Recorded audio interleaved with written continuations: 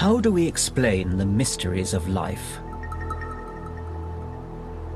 Science has steadily overturned old religious myths about how all this came to be. Yet those who adhere to Judaism, Christianity, or Islam still prefer to ignore reason and have faith in their forever unprovable, omniscient creator.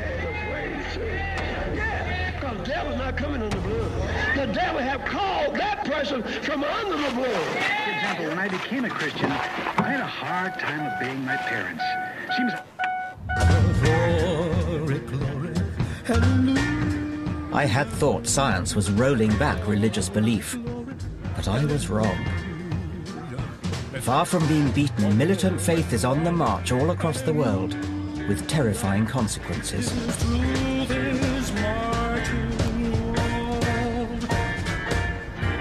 As a scientist, I'm increasingly worried about how faith is undermining science. It's something we must resist, because irrational faith is feeding murderous intolerance throughout the world. In this program, I want to examine two further problems with religion. I believe it can lead to a warped and inflexible morality, and I'm very concerned about the religious indoctrination of children. I want to show how faith acts like a virus that attacks the young and infects generation after generation. I believe in a, a, a lawgiver, a God right, right there, actually not behind it, right imminent here, right now. I want to ask whether ancient mythology should be taught as truth in schools. Professor Dawkins, I'm very impressed that you're the new Messiah. And I appreciate your, your, your desire to redeem the world. It's time to question the abuse of childhood innocence with superstitious ideas of hellfire and damnation. I would rather for them to understand that hell is a place that they absolutely do not want to go. This one would have been a preacher. Now they'll never hear his voice. And I want to show how the scriptural roots of the Judeo Christian moral edifice are cruel and brutish.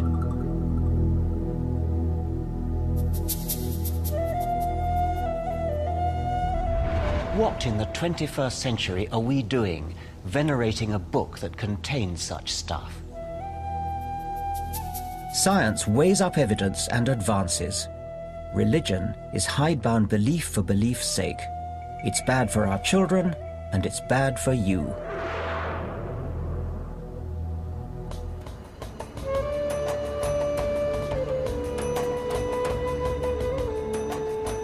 There is something exceedingly odd about the idea of sectarian religious schools. If we hadn't got used to it over the centuries, we'd find it downright bizarre.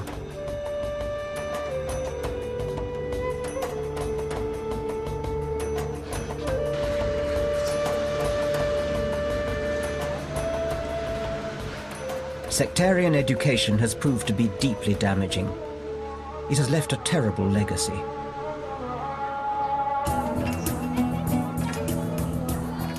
When you think about it, isn't it weird the way we automatically label a tiny child with its parents' religion?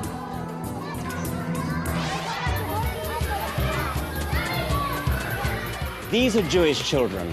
In another part of Jerusalem, we've seen Muslim children.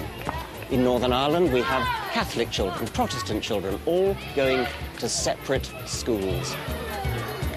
But what's so special about religion that it is allowed to label small children Catholic or Protestant, Jewish or Muslim?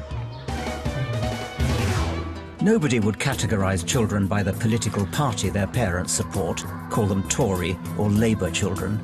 We agree they're too young to know where they stand on questions of politics. So why is it not the same for where they stand on the cosmos and humanity's place in it? In genetic evolution, a species divides into two, initially geographically. There's some initial separation between the two subspecies, and they divide away from each other genetically. There's no longer gene flow between them, and so they can become separate species. It's a divisive force. Sectarian education acts in a similar way. Children are initially isolated from each other because of their parents' faith. Then their differences are constantly drilled into them, and they embark on opposing life trajectories. Such divisions are encouraged, not just in faraway Israel, but right on our doorstep, in Northern Ireland, for instance, or in London. In North London, the Hasidic Jewish community is the largest after Israel and New York. Here, religious division is taken to its extreme. These ultra-Orthodox Jews only marry within their sect. Television is frowned upon, and of course children attend exclusive religious schools, cloistered away from external influences, which just might persuade them to look outside their community. I want to find out why these children are being segregated and whether their culture allows them to open their minds to reality. Hello? Hello. Rabbi Gluck, Nice to meet you. I'm Richard Dawkins. How do you do? Thanks, but fine. Nice to meet you. Please come in. Good, thank you very much. Rabbi Gluck is London born and bred, but you wouldn't necessarily know it. His accent is a testament to the isolation of this religious sect. Why should children be victims of the particular tradition in which they happen to have been born, rather than choosing for themselves by being shown all the evidence that's available? We are all, to a certain extent, uh, affected by our surroundings. Um, there's no such thing as a person living in a vacuum. Indeed. We're all affected by our parents, by our family. Yes. But at the same time, we have a choice to stay or otherwise. I think it's important for a minority to be able to have a space where it can express itself, where it can learn about itself. Well, couldn't you preserve the, the customs, the traditions, the history without somehow imposing upon the children views about the universe which modern science would say are simply false? I would say impose upon a Jew anything. Uh, I would say that's something which is impossible. I think scientifically impossible. We believe that God created the world in six days. We know about evolution. Every single Jewish kid knows about evolution and, and has thought about it and has studied it and has looked at it and has thought, what's going on here? How many of the children who come up through your system, your school system, end up believing in evolution? I, I think that the, that the majority don't believe in evolution. They, but at the same time, it isn't they don't believe because they don't know about it. You realize they're being taught that the entire world began after what archaeologists would recognize as the agricultural revolution. Um, I mean, these children are being brought up in a very distorted world indeed. I worry about children being victims of this kind of what I can only describe as miseducation. I find uh, the terms as distorted and miseducation rather disturbing. Judaism has its tradition. I think uh, there are various uh, scientists who have their tradition. It's still called the theory of evolution. Well, it's called that, but that's in It's a very called, technical sense. yeah, but, so- but still, but still, it's called that, and it's not called the law of evolution. well, I will call it the fact of evolution. Uh, and you're, you're, you're a fundamentalist believer. No, I'm not a fundamentalist believer. The age of the earth, 5,000 years. I mean, that is, I'm sorry, Rabbi, that is ridiculous. Of course, Rabbi Gluck is right that it's important for us to learn about our own background. But what upsets me is that in pursuit of that, these innocent children are being saddled with demonstrable falsehoods. And this is not just a problem of the Jewish minority. There's pressure from an increasing number of faith schools of other religions to put scientific fact on a par with primitive creation myths. In science classes, why can't they simply teach science? You say this is truth because it's based on evidence. That's well, such a no, funny you don't answer. exactly say that. You say we're struggling towards the truth, and as new evidence comes in, we refine it. And in the it middle of that, better. Jesus says, I am truth.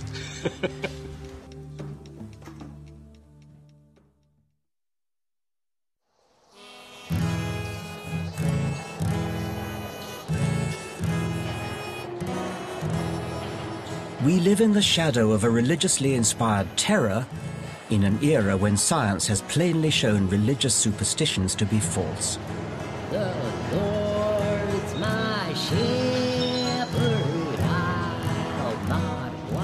And yet, it's a strange anomaly that faith schools are increasing in number and influence in our education system, with active encouragement from Tony Blair's government.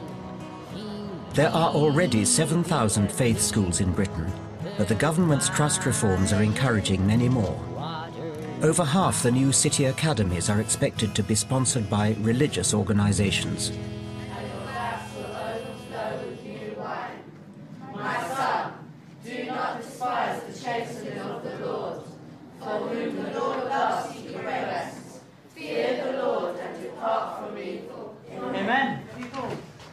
The most worrying development is a new wave of private evangelical schools that have adopted the American Baptist ACE curriculum, Accelerated Christian Education. Have you been to one of these schools before? No, I have. Okay. Accelerated Christian Education slips religious superstitions back into science. If you want to be rude, you would say it's program learning. If you want to be polite, it's individualised instruction. So really, each one is teaching themselves to a certain extent. Of course, that has to be modified with adult supervision and so on. Right, so here, you need to find the page where the answer is and write the page number next to it. When you find the answer, you need to underline it. Okay? I had a look at the curriculum booklet that they use for science, and it was very noticeable that God or Jesus did come on just about every page. Yes, yeah. we don't have anything like religious instruction in the school because it is part I can of see the you wouldn't need it. No, of yes. course not. Absolutely. In, in um, one section in the science thing, I suddenly, I was sort of taken aback because I suddenly started reading about Noah's Ark. And what's that got to do with a science lesson? I suppose that depends on your opinion. it could have a lot.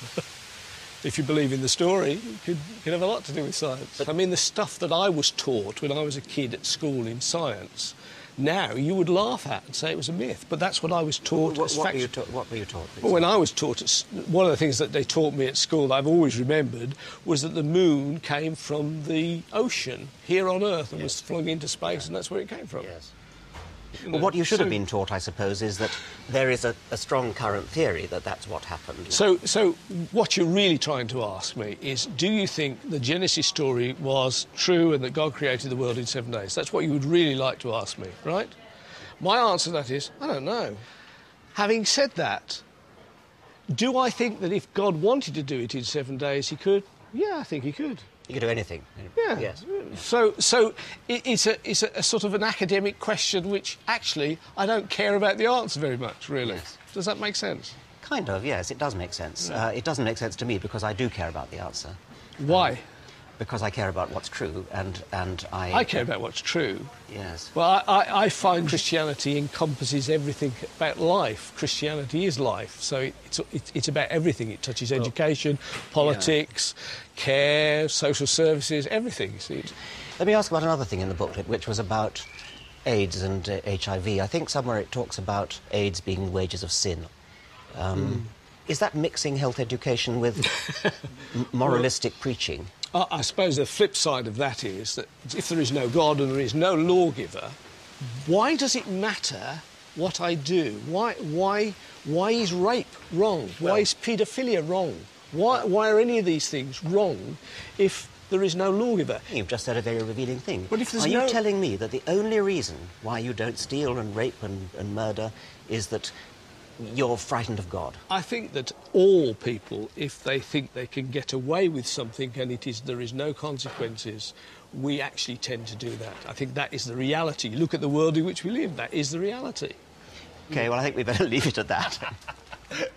Adrian Hawkes, I'm sure, is a well meaning man. But why should he impose his personal version of reality on children? Not only are they encouraged to consider the weird claims of the Bible alongside scientific fact, they're also being indoctrinated into what an objective observer might see as a warped morality. It's pretty wild on there, isn't it? Let me explain why, when it comes to children, I think of religion as a dangerous virus. It's a virus which is transmitted partly through teachers and clergy, but also down the generations from parent to child to grandchild. Children are especially vulnerable to infection by the virus of religion. A child is genetically pre-programmed to accumulate knowledge from figures of authority. Stand on the rope. That's it. Now. Hold on here. Here, here. There. And here. Hold tight. Got it? Good. There you go. Child brain, for very good Darwinian reasons, has to be set up in such a way that it believes what it's told by its elders. Because there just isn't time for the child to experiment with warnings like don't go too near the cliff edge or don't swim in the river, there are crocodiles. Any child who applied a scientific, skeptical, questioning attitude to that would be dead. Okay. No wonder the Jesuit said, Give me the child for his first seven years, and I'll give you the man. three, go. The child brain will automatically believe what it's told, even if what it's told is nonsense. And then when the child grows up, it will tend to pass on that same nonsense to its children. So many people think they've got the truth, but they've only got deceit. And the devil's greatest weapon was deception. He got us And so religion goes on from generation to generation. What are you going to be known as when you die? Sinner or winner? God wants you all to be winners and not to be sinners. For many people, part of growing up is killing off the virus of faith with a good strong dose of rational thinking. But if an individual doesn't succeed in shaking it off, his mind is stuck in a permanent state of infancy, and there is a real danger that he will infect the next generation.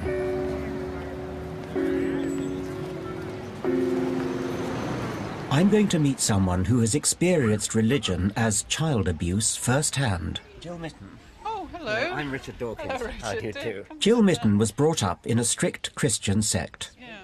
Today, she's a psychologist who rehabilitates young adults similarly scarred by their narrow religious upbringing. They need to be allowed to hear different perspectives on things. They need to be allowed to investigate. They need to be allowed to develop their critical faculties so that they can uh, take a number of different viewpoints and, and weigh them up and decide which one is for them. They need to find their own pathways, not, not be forced into a particular mould as a child. If I think back to my childhood, it's one that's kind of dominated by fear. Um, and it was a fear of disapproval while in the present, but also of eternal damnation. Do they get taught about hellfire and things like that? Absolutely. And to a child, images of hellfire and gnashing of teeth are actually very real. They're not metaphorical at all. Of course not. No. If you bring a child up and discourage it from thinking freely and making choices freely, then that's that's that's still, to me, that is a, that is a, a form of mental abuse or psychological abuse. Or if you tell a child that when it dies it's going to roast forever in, In hell, that is abusive. Yes. What do they tell you about it? I mean, what, what, what happens in hell? It's strange, isn't it? After all this time, it still has the power to affect me when, when, you, when you ask me that question. Hell is a fearful place. It's complete rejection by God. It's complete judgment. There is real fire. There is real torment, real torture. And it goes on forever. So there is no respite from it.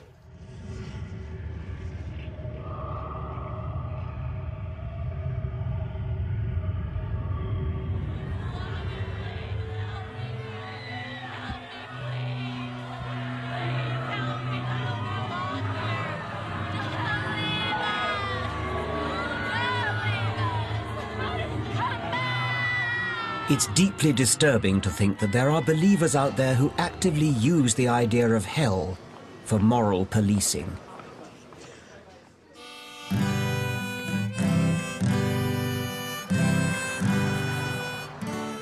In the United States, Christian obsession with sin has spawned a national craze for hell houses, morality plays come Halloween freak shows, in which the evangelical hobby horses of abortion and homosexuality are literally demonized.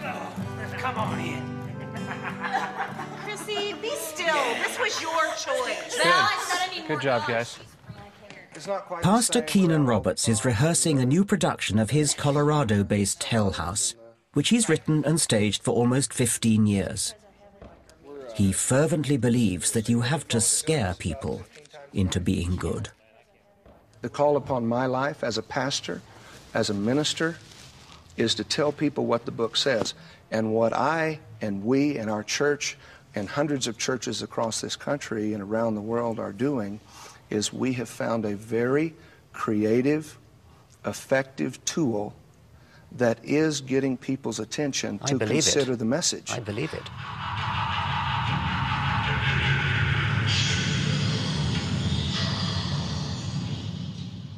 We want to leave an indelible impression upon their life that sin destroys.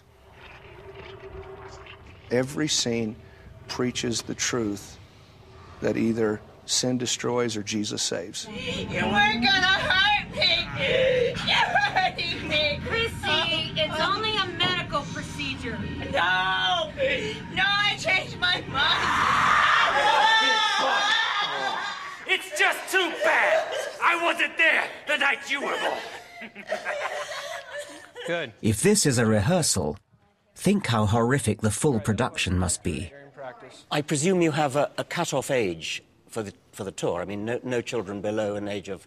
So, well, what, what is your cut-off age? Well, over the years of having audiences and people go through this, we have uh, come to uh, the decision that the best age for uh, young people is really at 12.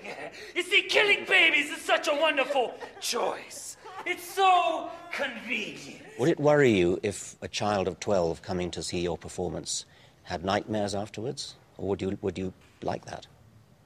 I would like them, I would like for their life to be changed no matter what. I would rather for them to understand that hell is a place that they absolutely do not want to go. I would rather reach them with that message at 12 than to not reach them with that message and have them live a life of sin and to never find the Lord Jesus Christ. Do you solemnly swear to never believe that you are normal and that God is responsible for making you this way? In the case of homosexual marriage, what harm does that do? Why would you be so passionately against that? They're living in sin. That's your opinion, but it's nothing to do with you, is it? It's, It's their decision. Opinion. It's not my opinion. I'm telling you what the Bible says. It's the Bible's opinion, but these are two people who want to live together. Isn't it their own business? What, what right have you to interfere? This woman and this woman, burning in a repulsive lust for one another, deceived by all of hell that they've been born gay, are joining their deeply confused lives in this nauseating matrimony. 1 Corinthians 6, Oh. God says. 1 Corinthians 6. God Will you says cue him? homosexuality Don't equals sin, and sin I want them to know homosexuality is sin. But you believe it presumably on the basis of scriptural authority. You believe it- Absolutely. yeah. Um, Unapologetically. yes, unapologetically. But why are you so sure that's right? I mean, if you think about where the scriptures come from, I mean, who wrote them and when? And what, what makes you so confident they're right? It's what I believe. I know you're It right, is- but you- it but- is a but why? faith. It is a faith issue with me. Why do you not believe it? Uh, because of evidence. Hell House is the brash end of a much bigger problem with the way religious belief works. Taken to its extremes, as by American evangelists, the Bible is scanned for passages to justify right wing views on abortion and family values. I'm about to meet a believer who uses the Word of God to fight against centuries of human progress. I think execution for adultery is not uh, rejected. Not rejected by whom? By you? No, by, by the New Testament What writers. about you? Do you, do you favor execution of adultery? I think that's fair to say that that's still a, uh, a proper uh, punishment uh, that the state ought to prosecute.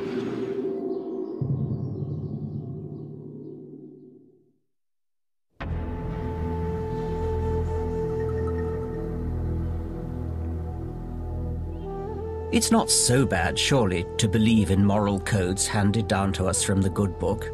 Doesn't the Bible give us a moral framework in which to live? Well, no. The holy texts are of dubious origin and veracity, and they're internally contradictory. And when we look closely, we find a system of morals which any civilized person today should surely find poisonous. The Old Testament is in every church and synagogue throughout the world and is the root of Judaism, Christianity, and Islam.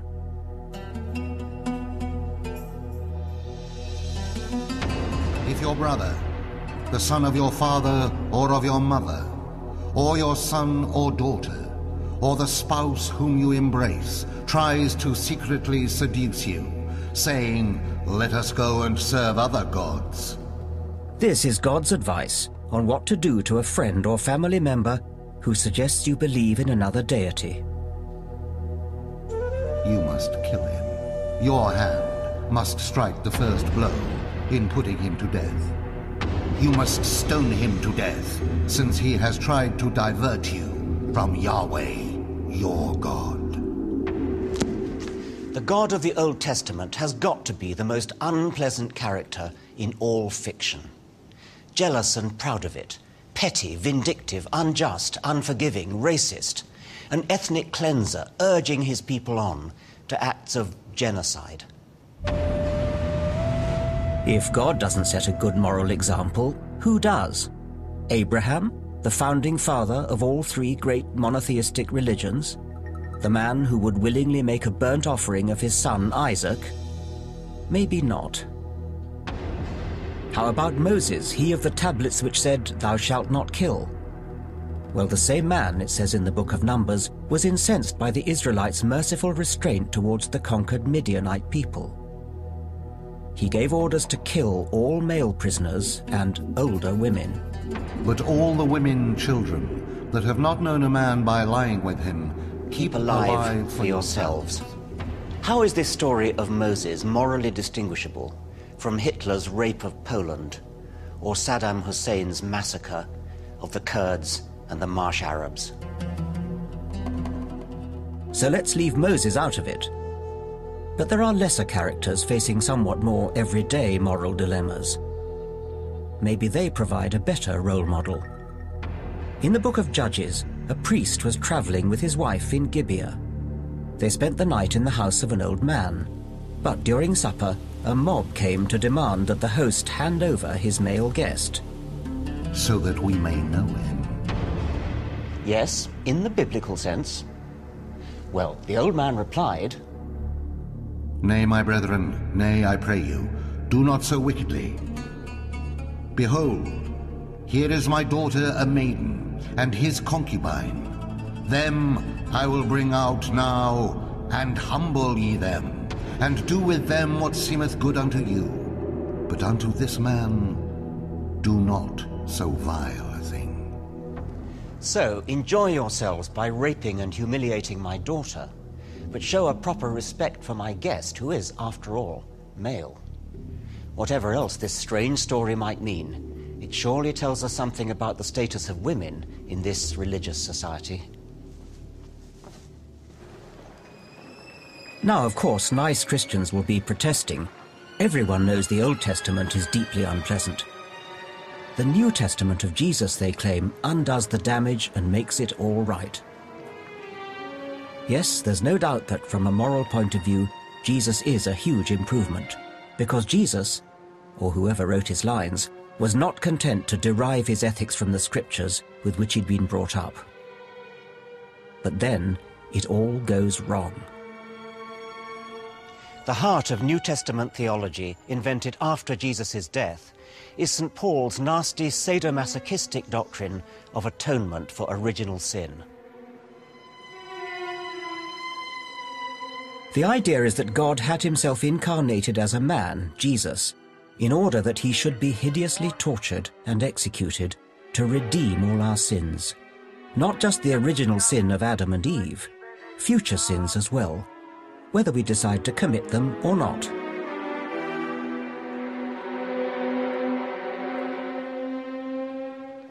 If God wanted to forgive our sins, why not just forgive them?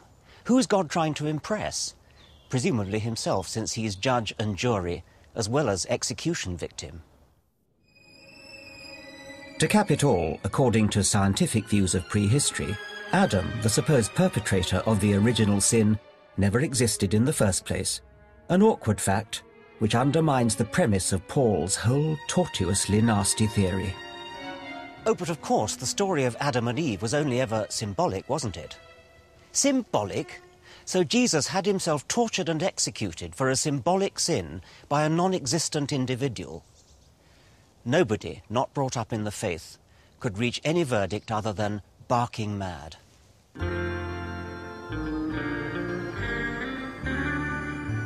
The strange theology and questionable texts wouldn't matter but for the unfortunate fact that there are people out there who really believe this stuff is the Word of God and act on it, challenging progressive values and the rule of law.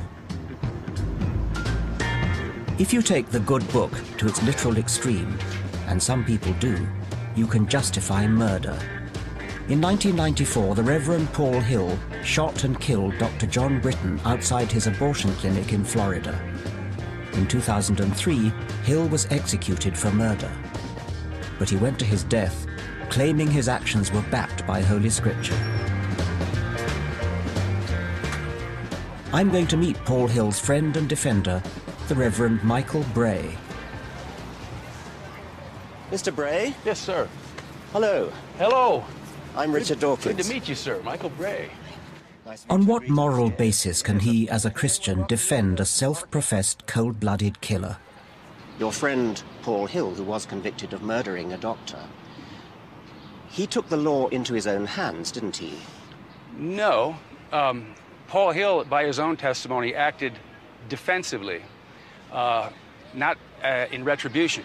That's the job of the law. The job is to, the job of the law is to is to punish. Yeah. The job of citizens is to is indeed out of love to protect one another. Does it ever occur to you that that doctor had a wife to grieve for him and Paul Hill killed him? Now, the embryos that Paul Hill was defending, they were tiny little things without any knowledge, without any memory, without any fears, without all the things that a full grown adult doctor had. Mm-hmm. Doesn't that give your conscience a little bit of a twinge? Well, I, I don't think we measure the, the value of someone by their their their cognizance of, of their surroundings or their or even their relationships. Uh, the value that we give human beings historically and thankfully from the scriptures is that they are created in God's image and they are they have a certain sanctity because of that. So whether they be imbeciles or To most sensible people, Bray's fellow clergyman Paul Hill looks like a dangerous psychopath, righting what he perceived as wrong by committing another, more terrible wrong.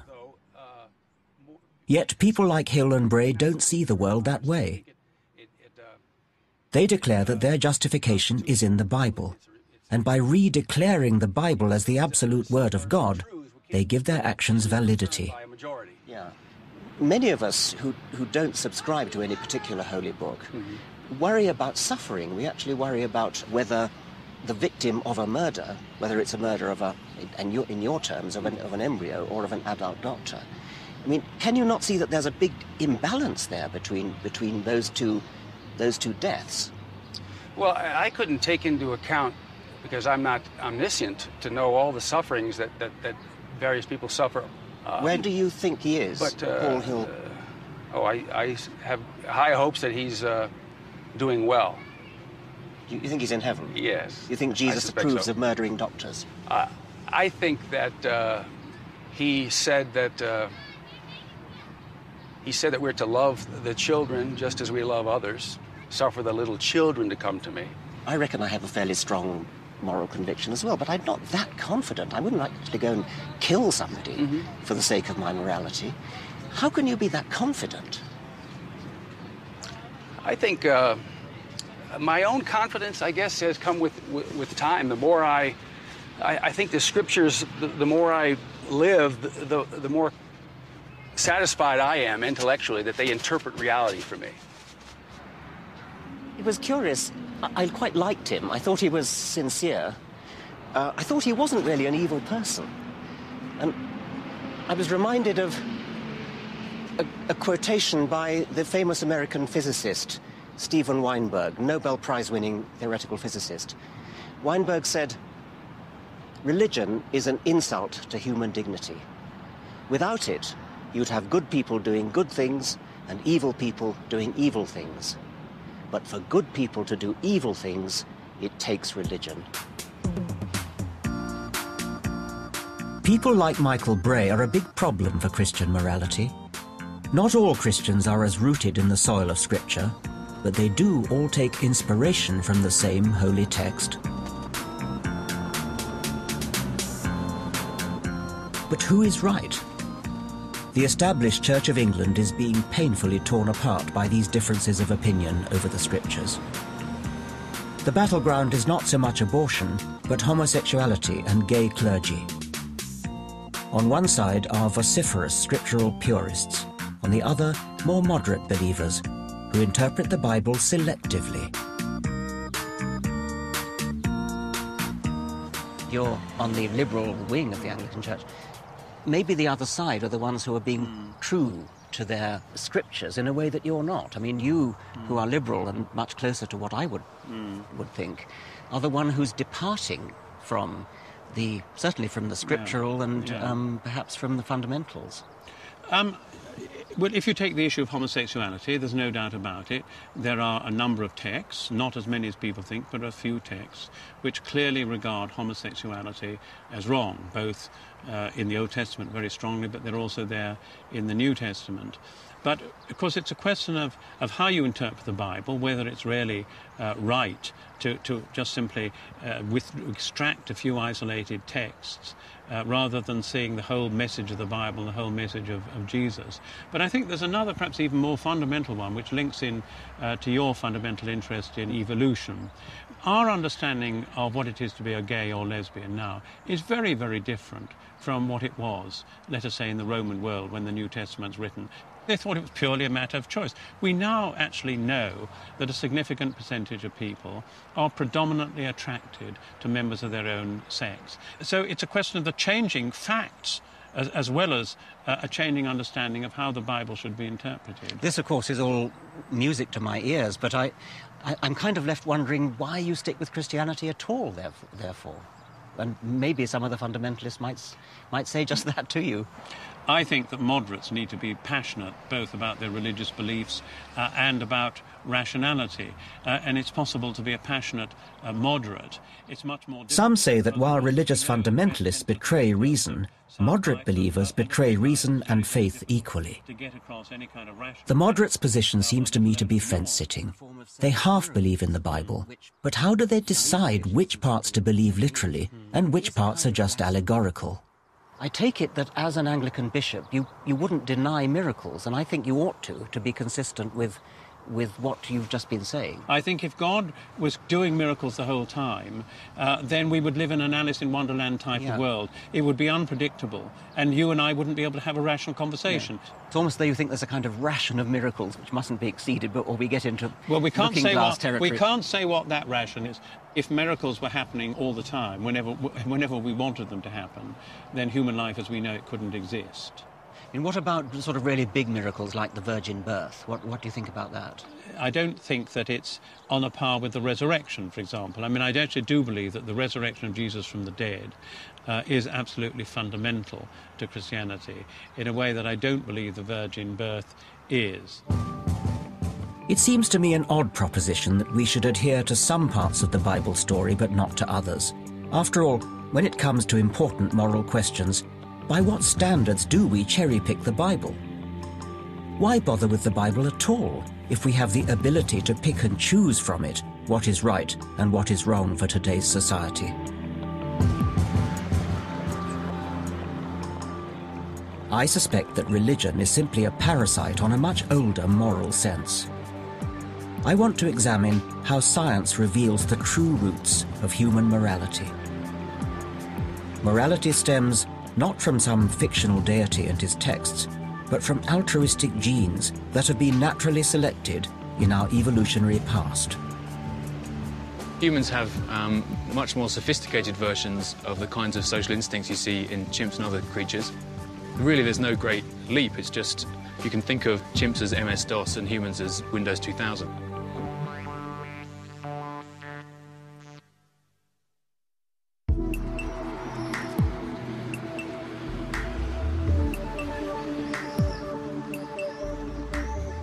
Religious believers like to claim that their God and ancient texts provide them with an inside track to defining what is good and what is bad. But it is surely far more moral to do good things for their own sake, rather than as a way of sucking up to God. Our true sense of right and wrong has nothing to do with religion. I believe there is kindness, charity, and generosity in human nature. And I think there is a Darwinian explanation for this.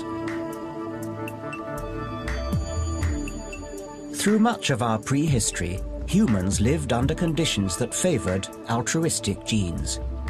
Gene survival depended on nurturing our family and on doing deals with our peers. The I'll scratch your back if you scratch mine principle. I don't think we need religion to explain morality, and if anything, it just gets in the way. Morality is a lot older than religion. Uh, humans have an, an, innate moral sense or a range of moral senses that, are, that, you can think of as sophisticated versions of the kind of social instincts you see in uh, chimps and other social species.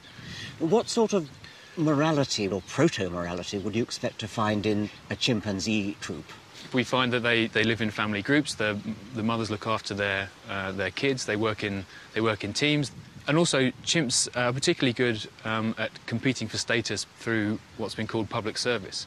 So they compete for status not just through brute force, but by being um, good leaders, by uh, intervening to uh, settle disputes.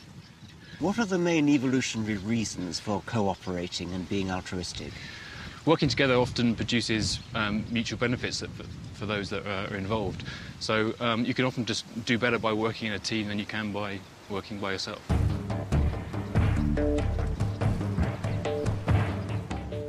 Perhaps it is our genetic inheritance that explains why those of us with no allegiance to a holy book or a pope or an ayatollah to tell us what is good still manage to ground ourselves in a moral consensus which is surprisingly widely agreed.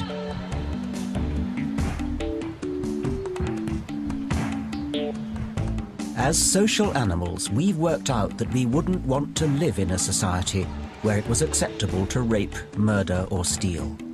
We have a moral conscience and a mutual empathy, and it is constantly evolving. Religious or not, we have changed in unison and continue to change in our attitude to what is right and what is wrong. Fifty years ago, just about everybody in Britain was somewhat racist. Now, only a few people are. 50 years ago, it was impossible for gay people to walk along the street hand in hand. Now it's easy. Some of us lag behind the advancing wave of moral standards, and some of us are ahead. But all of us in the 21st century are ahead of our counterparts from the time of Abraham, Mohammed, or St. Paul.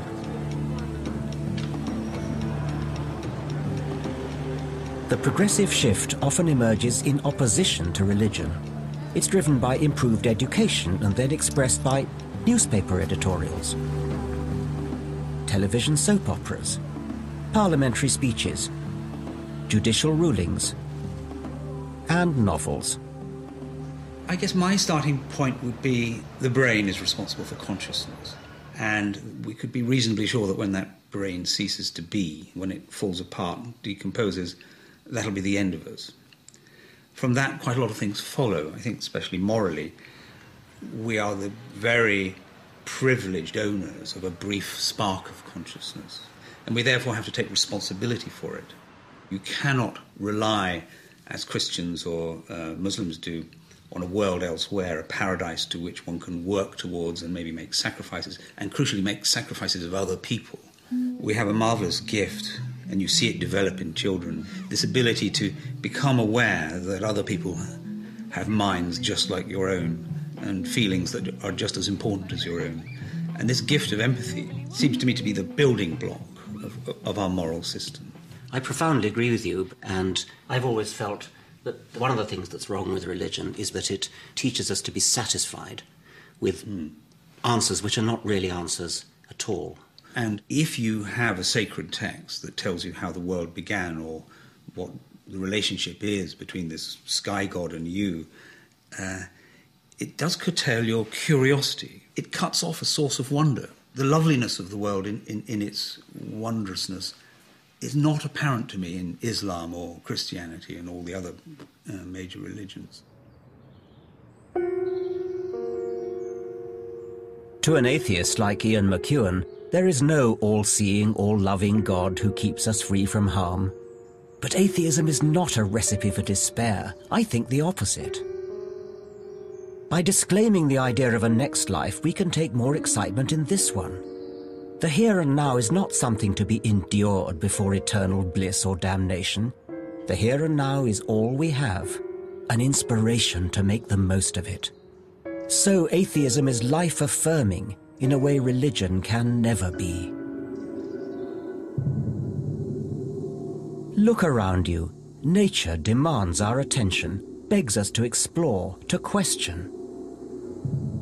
Religion can provide only facile, ultimately unsatisfying answers. Science, in constantly seeking real explanations, reveals the true majesty of our world in all its complexity. People sometimes say, there must be more than just this world, than just this life. But how much more do you want? We are going to die, and that makes us the lucky ones.